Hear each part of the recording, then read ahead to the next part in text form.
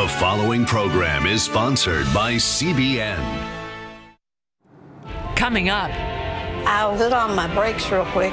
a case of whiplash and an answer to prayer. It just was a miracle. Simple as that. Plus, from the streets I can pull a gun out on you and make you do what I want you to do. to solitary, You had a whole lot of time to think. You knew you wasn't getting out. one inmate finds a way to survive. I experienced peace for the first time in my life. On today's 700 Club.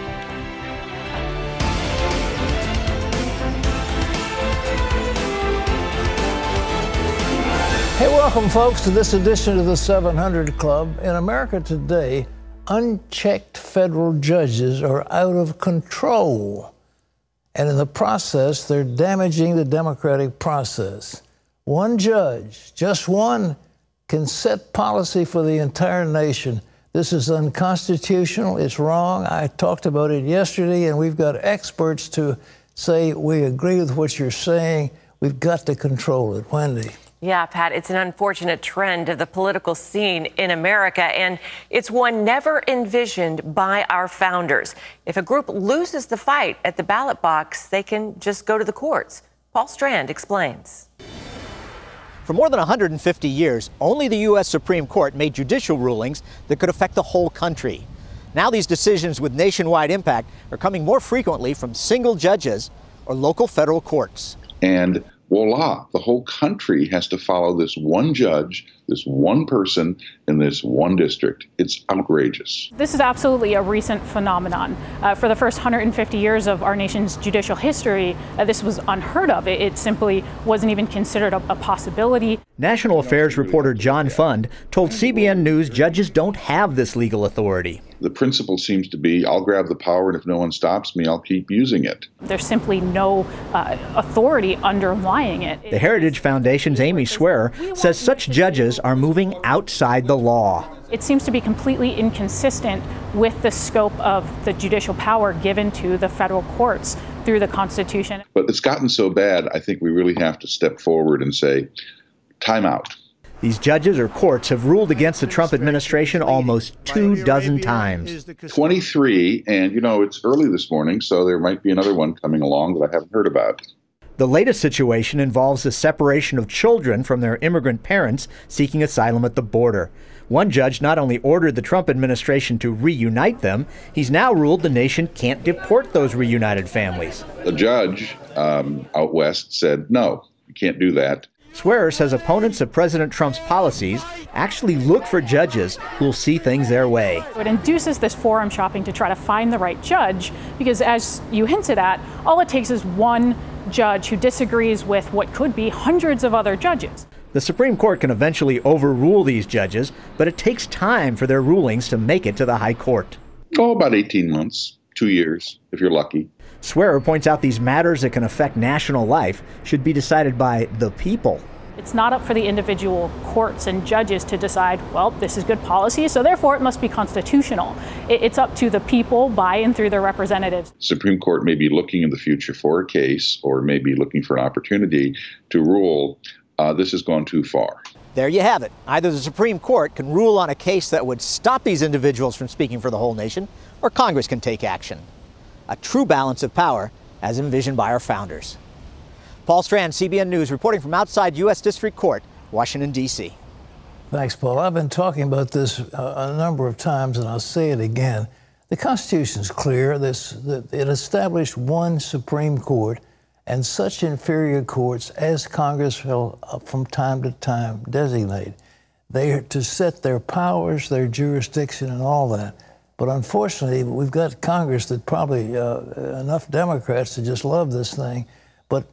The idea that somebody in Hawaii, in a little federal district court in Hawaii, is going to dictate to the entire nation how it's going to behave, this is outrageous. It is totally contrary to the Constitution.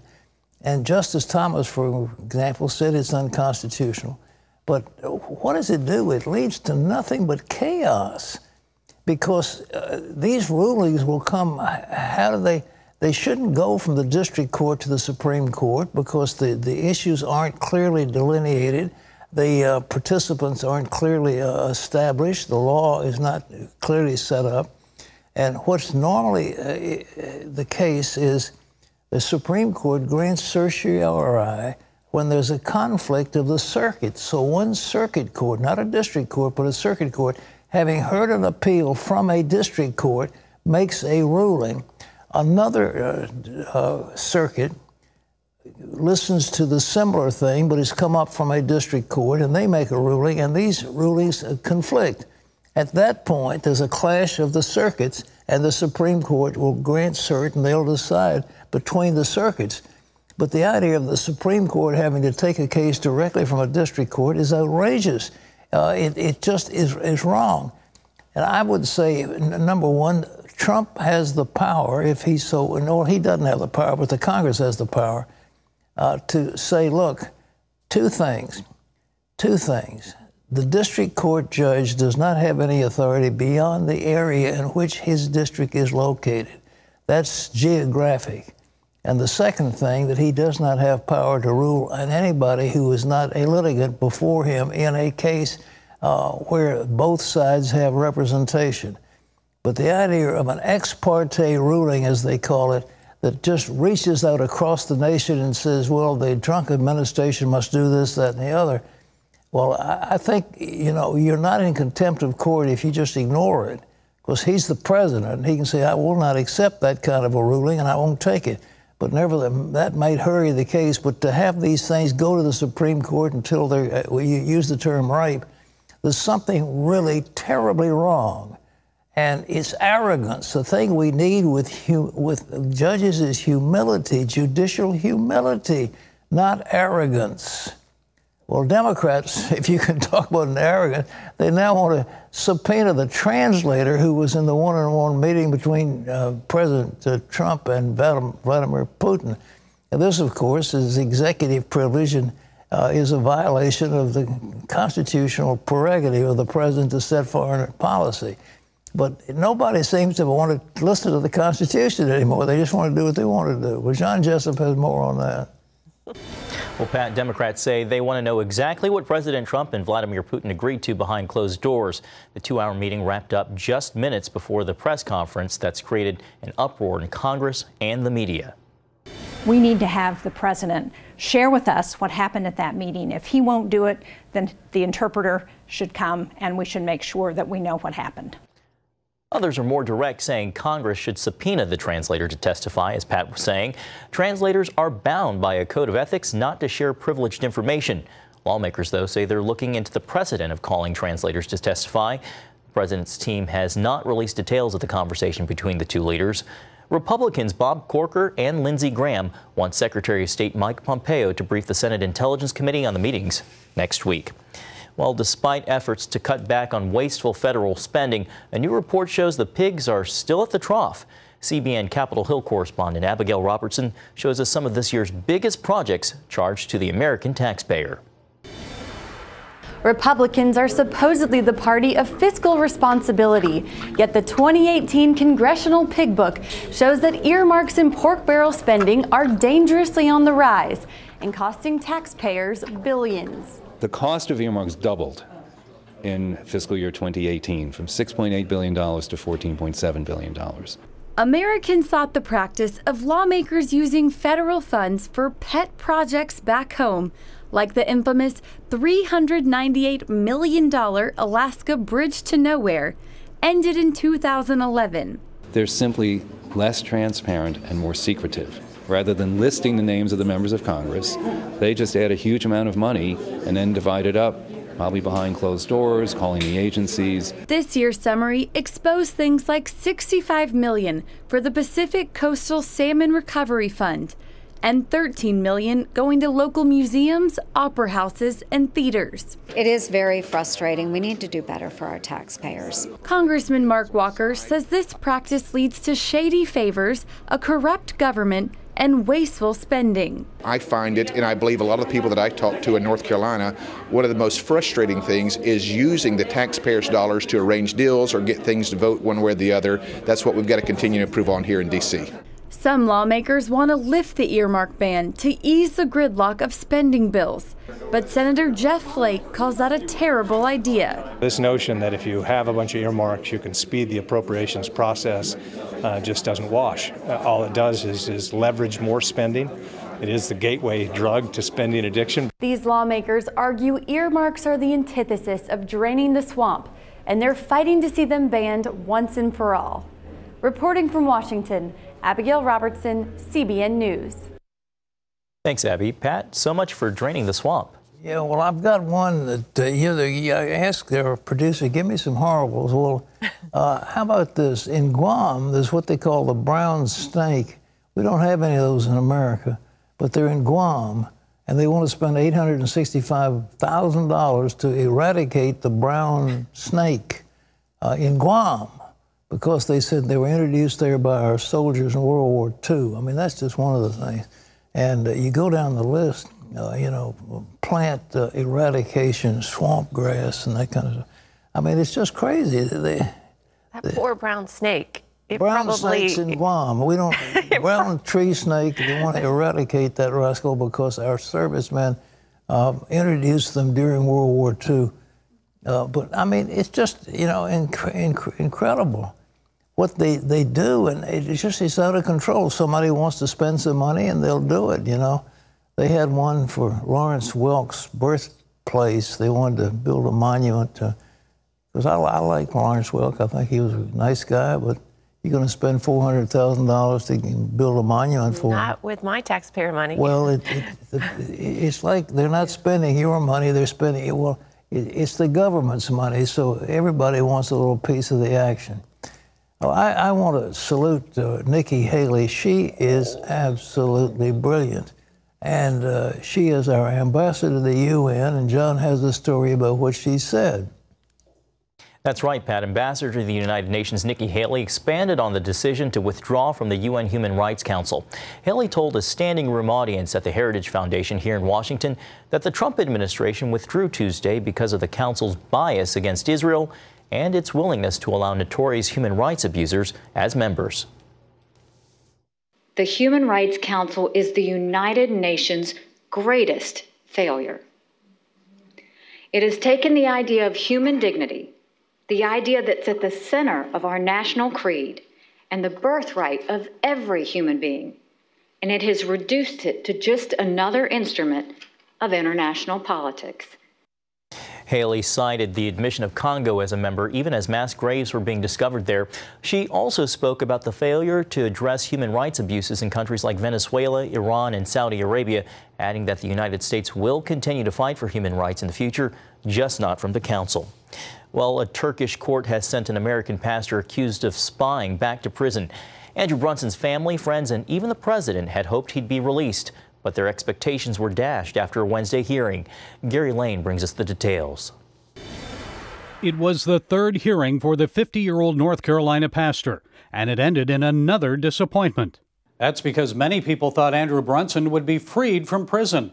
He has spent 20 months behind Turkish bars on accusations that he spied on the government and plotted with rebels to overthrow President Recep Tayyip Erdogan in July 2016. For nearly two hours during the hearing, former church members testified against Pastor Brunson, making vague, unsubstantiated accusations. When the judge asked Brunson to reply to the witnesses, he said, quote, My faith teaches me to forgive, so I forgive those who testified against me.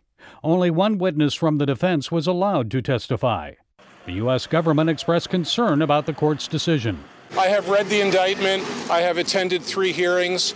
Uh, I don't believe that there is any indication that Pastor Brunson is guilty of any sort of criminal or terrorist activity. The Trump administration and members of Congress have been pressuring Turkey to release the pastor. On Wednesday, President Trump expressed displeasure, tweeting, A total disgrace that Turkey will not release respected U.S. pastor Andrew Brunson from prison. He's been held hostage far too long. Erdogan should do something to free this wonderful Christian husband and father. He has done nothing wrong, and his family needs him. Cece Heil of the American Center for Law and Justice says immediately after the court decision, the Trump administration and members of Congress began working again diplomatically to help free Brunson. It's a devastating blow. So I would just, you know, pray for encouragement um, for Pastor Brunson and and for his family because they they suffer the same. Gary Lane, CBN News. Thanks, Gary. Pat, Pastor Brunson now languishing in a Turkish prison for two years. You know, this Erdogan is really a thug. I, you know, we used to consider that Turkey was our strong ally. And uh, when there was an overthrow of the Sultan and the Ottoman Empire and so forth, Turkey became a secular democracy and has been a valued member of uh, NATO and other alliances. They have been, they were with us in Korea, for example, and other places and their fighting men are exemplary. But uh, Erdogan has decided he doesn't want a secular uh, democracy anymore. He wants a Muslim dictatorship with himself the dictator. Uh, he, he wants to be another sultan or whatever they call themselves. And they, they no longer should be a part of NATO. They should no longer be a part of the, the Western alliance against anybody because they're enemies of Israel, they're enemies of freedom, and uh, they're now the enemy of Christianity. And he spoke about the clash between uh, the mosque and the cross. And that clash is coming. But to arrest a man like Pastor Brunson, you know, up to this point, Turkey has been free. We, and if you go back and look at the Bible, you know, when Paul, I mean, John writes about the churches of Asia, uh, you know, those Thyatira and all those churches, they're all in Turkey. That's all encompassed by what we now know as Turkey. And uh, it's a very important country, but for a time it was known as the sick man of Europe because they had so many problems. But um, what, what we want to see now is, is, I don't know what to do, but we certainly, uh, we can't give them any support anymore. But we have a big military air field at Incirlik in Turkey, and they can control the way we fly. And they were trying to do that during the Gulf War, is to uh, tell our people we couldn't fly in a certain uh, area because uh, they were coming out of their an airfield in their country. I, I think it's time we, we redeploy that and get out of Turkey and begin to bring the sanctions against them that we have applied against other dictators. Well, so much for that, Wendy. Yeah, it's really frustrating because it seems like there's something that could be done and it's well, just not happening. You got a dictator, yeah. a Muslim dictator. There's nothing you can do right now except yeah, to pray. Keep pray praying. God can do it. Put sanctions on them. All right. Amen. Well, coming up, the gang bringing the good news to the embattled city of Detroit. We want to see their lives radically transformed by the power of the gospel of Jesus Christ. See how this unique ministry is changing a community when we come back.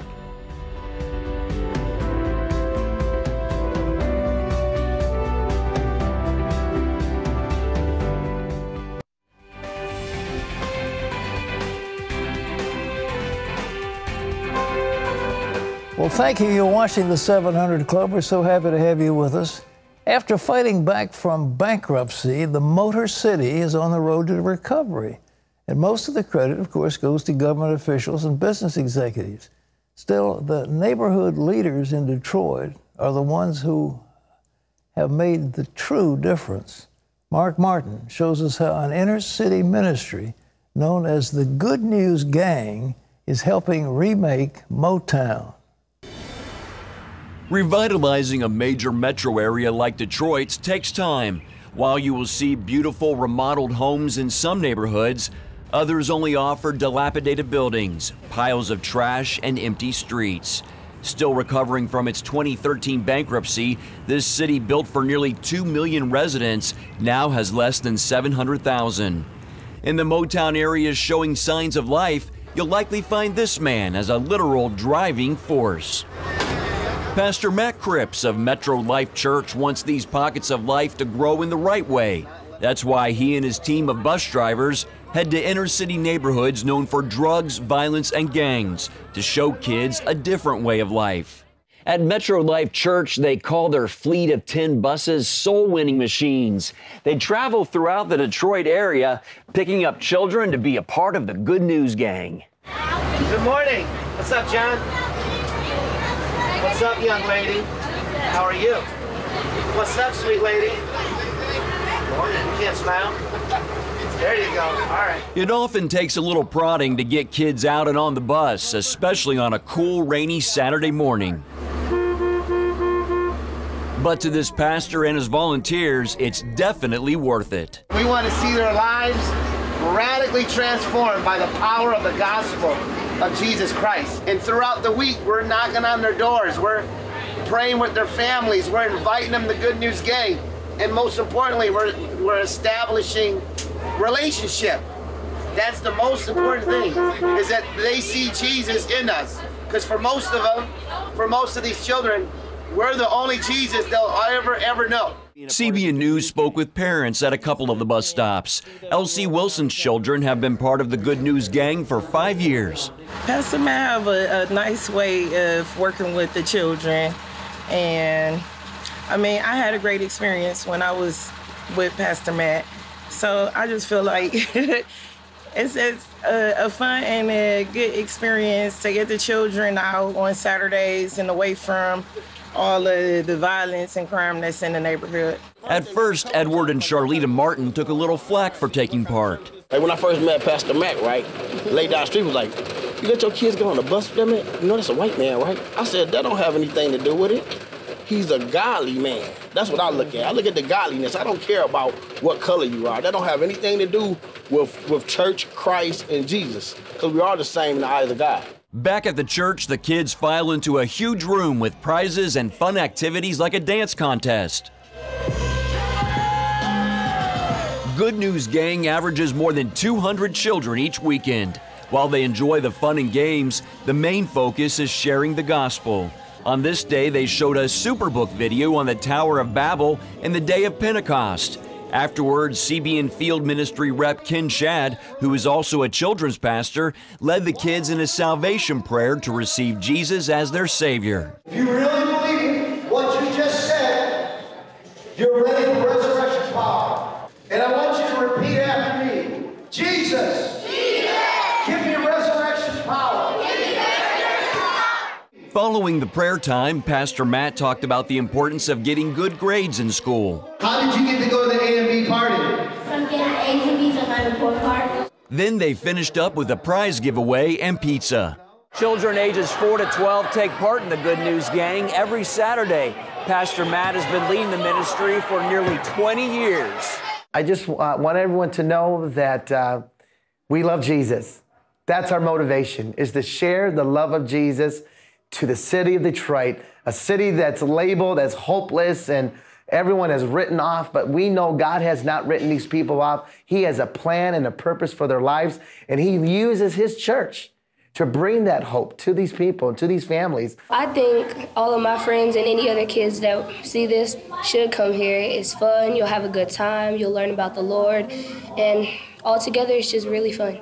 And my favorite thing about Good News Game, Good News Gang is worshiping God and learning great things about Him. Pastor Matt says they have a saying that they want the kids to experience heaven at Good News Gang, heaven away from tough situations at home. Many of them come from homes that are filled with despair and hopelessness, but we know that through Jesus Christ there is hope. And everyone said, Amen.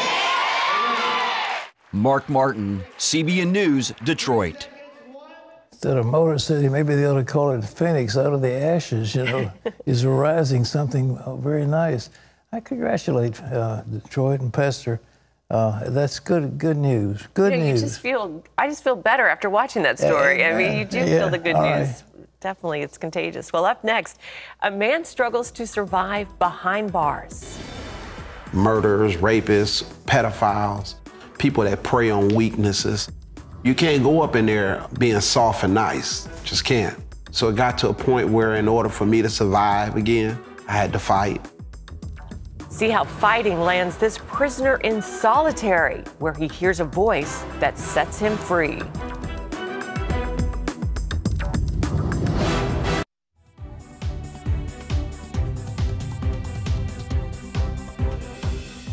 Imagine, imagine that you're a little boy, you're 12 years old, and you've got no place to live. And nobody cares, nobody loves you. Well, that's the way it was with Richard Horn. He was forced to rob and steal just to stay alive. Then one day, after being imprisoned and then put because of fighting in solitary confinement, Richard heard a voice. And for the first time in his life, somebody loved him. Whatever I had to do to survive is what I was willing to do during those times. At 12 years old, Richard Horn was left on his own to run the callous streets of Detroit, Michigan. He only knew abuse and rejection from his alcoholic father and uncaring mother. I didn't know what love was. I didn't even understand when somebody said, I love you. I didn't trust them. Because, you know, the one minute they say they love you, the next minute they leave you.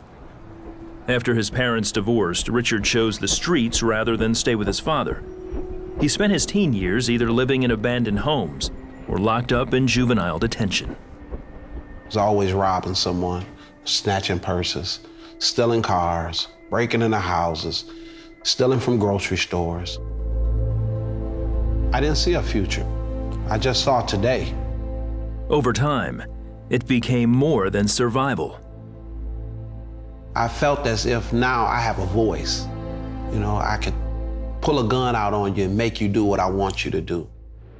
At 17, Richard was arrested and convicted on 11 counts of armed robbery. This time, he was tried as an adult and received five years in a state penitentiary. Murderers, rapists, pedophiles, people that prey on weaknesses. You can't go up in there being soft and nice. Just can't. So it got to a point where, in order for me to survive again, I had to fight. But fighting landed Richard in solitary confinement. We had a whole lot of time to think, to sit back and just contemplate on what's the next steps. What is it that you can do to better yourself or your circumstances? You knew you wasn't getting out, but it was possible that you could make this home a little better for you. As days turned into weeks, Richard was losing his fight. It got to a point where it became tiresome to survive, and you wanted to have more out of life. I was tired of being frustrated, and I was tired of being uh, locked up. I was tired of feeling like an animal. It was then one of the inmates who worked in solitary began striking up conversations with Richard. He would constantly come talk to me about Christ. He would pray to me about Christ. He would offer me to come to uh, Bible study. Richard accepted his invitations to go to the church services, if nothing else, to escape solitary confinement. But something was happening.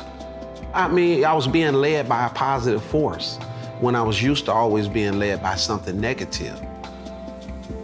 I guess I felt love and it just grew on me. It's just, I can't really explain it. It's just, it's like a transforming of my mind and my heart. Encouraged, Richard also started praying and reading the Bible, hoping that God had a purpose for him. One evening in March of 1989, he realized he needed to ask God to help him change his life.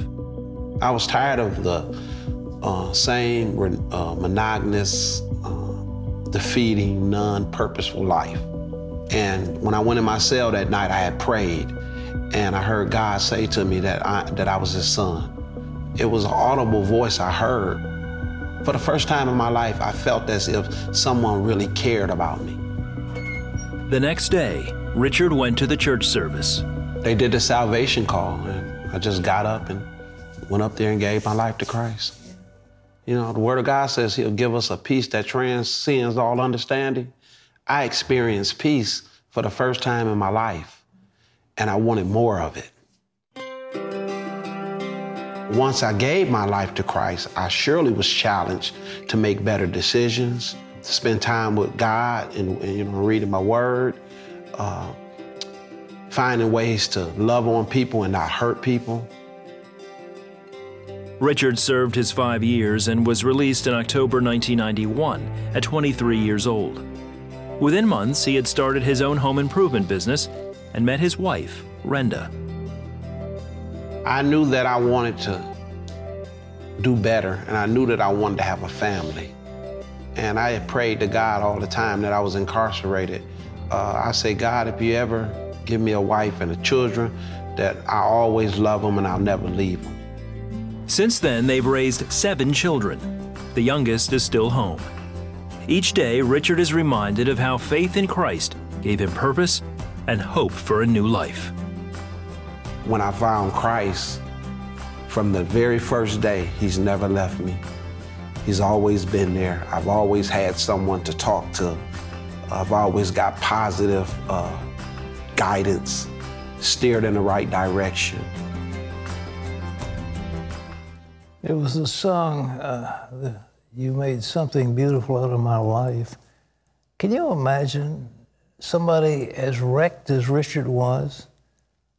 No parents who loved him, never loved as a child, out homeless when he's just 12 years old, forced to fight when he gets to prison because the bad guys were there and he had to fight to survive. And then, because of the fact he fought to defend himself, he's put in solitary. His life is shattered, shattered. But you know, God just took the pieces, each little piece, and he put it together. And he put Richard's life together. He served his sentence. But the thing was, he was a new creature because the Lord had remade him. And all of that brokenness from the past was put together. And that's what He can do for you. He can take the pieces of your life and He can make something beautiful out of it. You've been smashed, you've been hurt, you've been abandoned, you haven't been loved. You've had a bad home life, you had a bad marriage, you've had a bad business situation, you've had a lot of things. People have just been terrible to you. But the Lord can take all those hurts and all of those failures and all those sins and all the bad stuff and make something wonderful. And what He offers to you right now, again, the Lord says if anybody's in Christ, He's a new creation. Do you want to be new? Do you want to be fresh? You know, Richard the first time in his life he felt peace. He'd never known peace. There's a war going on inside of many of you. There's just fighting all the time, this terrible anguish because you're away from your Father's house. And I want to invite you right now. The Father is talking to you and saying, Child, I love you. I'm going to make something wonderful out of you. I'm going to make you beyond anything you could imagine, whatever you could, something better than you can ask or think. But what do you do? Well, you start by asking Jesus to take over. So pray with me right now. Let's do that. And then we can get on with something else. Bow your head, pray these words, meet them in your heart, and pray these words Lord Jesus. That's right. Lord Jesus. You know what's been done to me. You know how I've been hurt. You know how the pieces have been scattered and I have been broken. But Lord, I come to you now with a broken heart and I ask you to please put it together. I give you my life. I give you the pieces of my life. And I ask, Lord, that you will make something beautiful out of it. Take me, Lord. I receive you as my Savior, and from this moment on, I am yours. Thank you, Lord. Amen and amen. Now, if you prayed with me, I want to give you something. It'll help you. It's a little packet. It's got a booklet and it's got a little CD in here. I'll give this to you. It's called A New Day. Uh, all you got to do is call in. No money involved whatsoever. Nobody's going to ask you for any money. But if you, if you don't want to call, that's, that's fine. But I, I, just want you to call in and say, look, I gave my heart to the Lord. And if you don't want to give us your name, that's fine too. But there's a telephone number. It's a toll-free number. It's 800 700 7000. 800 700 7000. All right? And say, I pray with Pat, and I want that little booklet called A New Day. And I, right now, am a new creature in Christ. Wendy, Thanks, Pat. Still to come, we've got your email questions. Kevin says, I am confused regarding President Trump. So many Christians put down the president. Aren't we supposed to pray for our leaders? We'll tackle that and much more coming up.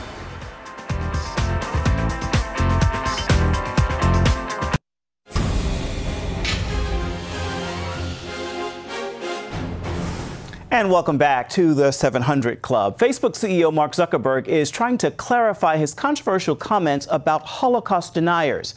During an interview, Zuckerberg is quoted saying some deniers who post on Facebook aren't intentionally getting it wrong. Zuckerberg saying Facebook allows conspiracy theories to remain on site and compared them to people who simply misspeak. His comments drew immediate criticism. Now, in a follow up statement, Zuckerberg says he personally finds Holocaust deniers deeply offensive and says he did not mean to offend anyone. California voters aren't allowed to decide if they should split their state into three. The Cal 3 initiative proposes splitting the state into Northern California, California, and Southern California. It had gained enough signatures in June to qualify for the ballot, but the California Supreme Court removed the measure from the November ballot, citing concerns regarding its validity. Remember, you can always get the latest from CBN News by going to our website. It's cbnnews.com.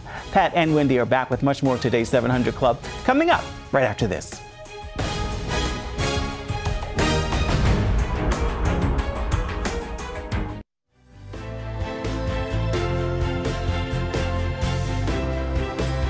Welcome back to the 700 Club. It's time for your email questions and some honest answers from Pat. We'll start with this one from Kevin.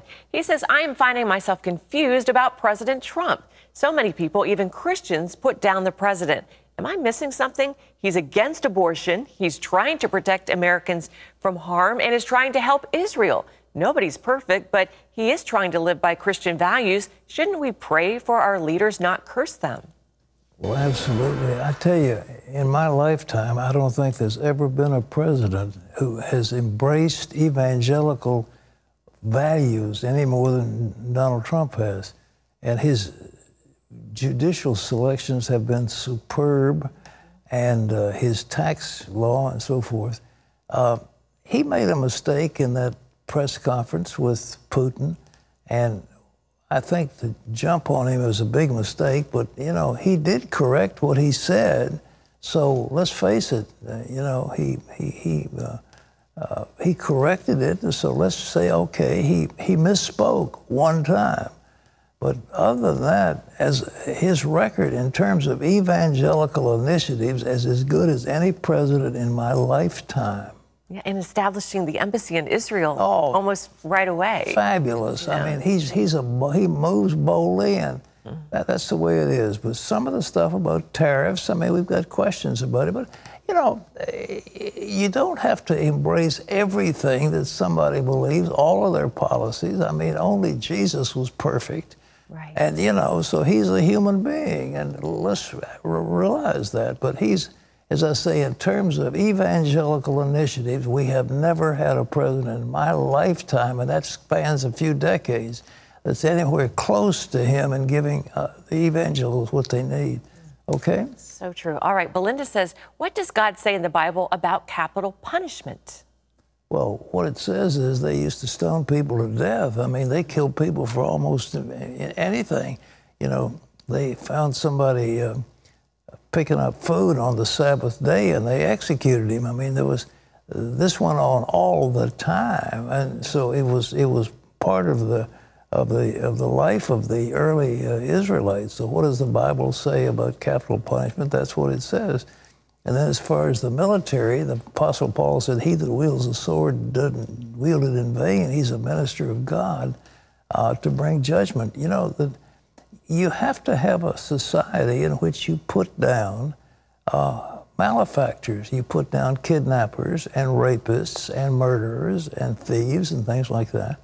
And, uh, you know, it's just one of those things. You can either put them in prison, but in Israel, I didn't see a whole lot of prisons. They just executed people. Whoa. They did. I mean, in the Old Testament, that's yeah. what happened. They got executed. I don't see any, any prison or any penitentiary. I think the idea of penitentiary is you're supposed to go and be penitent. But all they are right now are breeding grounds for criminals. And uh, I don't know that much rehab that goes on in a, in a quote penitentiary. All right. All right, Patrick says, My sister in law is a Christian. She has seven kids, and right now she's pregnant. We asked her to tie her tubes, but she says it's a sin. Is it, Pat?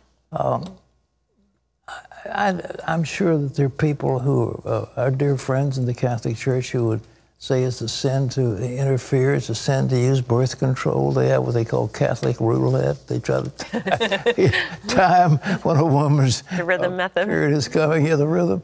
But uh, I, for one, see nothing wrong with family planning. I think to be able to look after uh, children responsibly is a good thing. Having a huge number of children uh, is is well, it's it's your choice. I mean, if you want to have a lot of children, God bless you. But if you don't, if you want to manage them, I don't think there's anything sinful about it. That's my opinion. All right. And if you live on a farm, you need a lot of kids. Uh, that's right. if you need them out there bringing in the crops, I mean, the more children, the better you are. Amen. In, the, in an urban environment, it's a different matter. All well, right. Carrie says, I need advice on how to handle my wife. I think she's going to divorce me. She's not spirit filled and is a weak Christian. I'm devastated. I never committed adultery, but I think God is punishing me for my inability to break free from porn. I lost my job. I am fin- financially strapped but my wife is financially secure. My church of 17 years has shunned me. What can I do? I think there's something beyond what you're telling me in that question. Mm. Um, why does the church shun me? What have you done? Uh, I think the church doesn't know you're watching porn, so that's a secret thing. Uh, what else have you done? Uh, and what's going on with that wife? You know, you want to know how to handle your wife.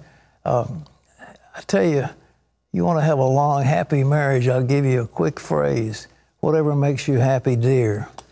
That's the easiest one, okay? And, you know, he's not providing right now. He's Well, he's not providing, and she's, I don't know, provider. some money. I, I don't, yeah. there's not enough in that question to give you an honest answer, but the biggest thing we do in marriage is to love each other and, and put up with each other's feelings because we are human beings and you don't you know, the Bible says, be at peace with your wife, lest your prayers be hindered. Mm. And that's a real strong thing, okay? Ooh. All right, that's good. All right, this viewer says, I saw a testimony of a man who previously worshiped the devil before he came to Christ. Would the Lord actually forgive someone who made Satan their Lord? Well, of course he would. I mean, again, all manner of sins and blasphemies will be forgiven the sons of man uh, if you were worshiping Satan and, and you switch allegiance from Satan to Jesus, that's a good thing. And why would the Lord not accept you? God is very forgiving. That's what, what but I mean, He's also righteous and He, he has standards, and we cannot impose on those standards. But we come to the Lord and say, God, I am guilty. I have sinned. Please forgive me. And the Lord will say, Of course I forgive you. You know, remember what Jesus said? The man that beat his breast said, God be merciful to me, a sinner. He's going to go away justified. The man that stands before God and says, Look at me, Lord. I, I, I give tithes of everything I've got, and I'm such a good person, and I I help little ladies across the street, and I'm a deacon in the church, and the God says, you know, come off it. you know, I'm, I'm not buying that. I, I want humility, not pride. All right. Amen. All right. Thanks, Pat. Great answers and great questions. Well, up next, a woman does a double take when her doctor gives her the results of a follow up MRI. They say you have your surgeries was successful. And I said, You know, I did not have surgery. I've not had surgery on my neck. Watch how a supernatural surgery sets this woman free from debilitating pain.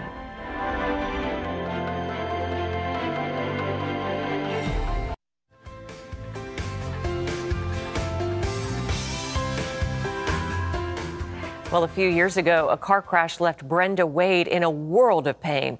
Today, Brenda's 100% healed. She received a supernatural surgery while watching the 700 Club. On July 15, 2015, Brenda Sipes Wade was getting on the interstate on ramp to go home when she saw the cars in front of her had stopped. I put on my brakes real quick and I had no brakes. I just, I thought, oh, I'm going to crash into him, and I did. I totaled my car, and uh, the next thing I remember, because I did hit my head against the steering wheel, it's a guy helping me out of the car to get into an ambulance. Uh, wasn't, no, a couple minutes after that till my neck really started hurting. After an MRI and x rays confirmed she had no broken bones, her emergency room doctors gave her a neck brace and sent her home. Afterwards, she was in constant pain. That's the only way I could keep from the headache and the back of the neck hurting was wearing the neck brace. I finally got it situated when I went to bed at night to where I could wear the neck brace while I was in bed. For two months, she went to her chiropractor three times a week, but the pain would not go away. The simplest of things. Hardwood floors, sweeping. So I would say anything involving your shoulders, movement of, the, of your head, neck, and shoulders that I had difficulty with. On September 4th, she was at home, watching the 700 Club. They were doing prayer, and I was sitting back over here in my recliner, and I had my hand like this on my neck because it was really bothering me. He had a word of knowledge. He said, There's someone you're laying your right hand on the back of your neck. You've had a severe injury to the right side. Very difficult for you to turn your, your neck. You have recurring headaches from it, recurring pain shooting down into your right shoulder. God's healed you. It described exactly how I felt and where I had my hand on my neck and so forth. And I said, That's for me, Lord. Thank you, thank you, thank you. And I started just shaking my head around, up and down, every direction. He just set you free from that. Uh, just begin to move your neck. Uh, do what you couldn't do before. Stand up, move your shoulder, move your neck all the way around. Realize there's no more pain. You have been set free. Two weeks later, her doctor called her with the results from a follow up MRI. They say you have, your surgeries was successful. And I said, You know, I did not have surgery. I've not had surgery on my neck. He said, Well, you had a surgeon that's not of this earth. I said, You're right. You're right. I said, I knew I was healed. Now she's back to doing her needlepoint and other hobbies she couldn't do before. It was definitely a miracle. Definitely a miracle. I mean, you know, I'm a, it just was a miracle. Simple as that. When it shows you've had surgery and you haven't, it was all healed. It was just so miraculous. It really was. A surgery not of this earth. Yeah. Is there anything too hard for God? That Isn't is that amazing. Marvelous? Can you imagine? Though, you can't sleep. I mean, that's horrible. So I mean, there's no position in, in the bed where you're not in agony. I mean, to be delivered from that is wonderful. Listen, here's something, Wendy. Uh, for weeks, Janet, who lives in Abilene, Texas, suffered from something called vertigo. And she was watching the 700 Club in May when you, you said somebody has vertigo. You're very dizzy and unstable. God's healing you. Janet said, That's for me. Should I take it by faith? The vertigo is completely gone. And what a miracle. What do you have? Lord. Okay, Karen of Dallas, Georgia, she suffered for 10 years with bleeding due to colon issues. However, she still believed God could heal her. Karen was watching the 700 Club and she heard you give a word of knowledge, Pat, praying for someone's colon. By faith, she claimed her healing the very next day. The bleeding completely stopped after 10 years. Praise the Lord. Listen, God is able. Folks, God is able. I was praying today. I said, Lord, show me yourself. Let me know your power. You realize this tiny little earth we're on and how great God is, and He created all the universe? I mean, what is such a big deal about healing a cancer? Well, why do you think it's so strange that God would do something miraculous and fix somebody's neck or um, cancer or vertigo or whatever? So we want to pray for you right now, and we're going to believe God. And I want you to know nothing is impossible. With God, all things are possible. So we're going to join hands. We're going to believe God for you right now. Father, in Jesus' name, we speak the word and we ask for healing. We ask for miracle power. In Jesus' name, touch people in this audience. Wendy, what do you have? Yeah, there's someone you are you are just in fear right now, and God is saying to you, do not fear, trust me, wait on me, and I'm going to work this out. So do not fear in Jesus' name. Uh, you've had a serious ulcer, a bleeding ulcer, and there's been a lot of pain and nausea and bleeding, and you're just crying out to God right now. Claudia, I believe the name is. In Jesus' name, be made whole. Someone you just saw this piece with, about Brenda's neck, and you've had um, it's not so much your neck, but your back, and you are asking for the same miraculous surgery to take place, and God is saying yes today. Your spine is being completely healed. Just May receive the it. anointing of the Lord touch you in Jesus' name. Amen. Amen. And amen. Well, thanks for being with us. We leave you with this power minute from Joshua. Be strong and of good courage, for the Lord your God is with you wherever you go. Well, tomorrow we're going to sit down exclusively with the Israeli ambassador to the UN uh, on Friday and uh, on that program. So until then, this is Pat Robertson with Wendy and all of us here. We'll see you at our next program. God bless you.